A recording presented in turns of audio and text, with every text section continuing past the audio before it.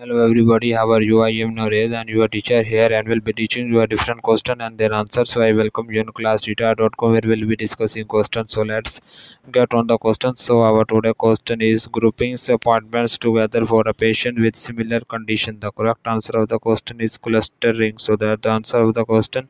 If you are searching any other question, please visit www.classtheta.com and find on the search section if you have any question to ask. There are now sessions on the right side of the website fill the form and will be answering you as soon as I can. Thank you for watching this video.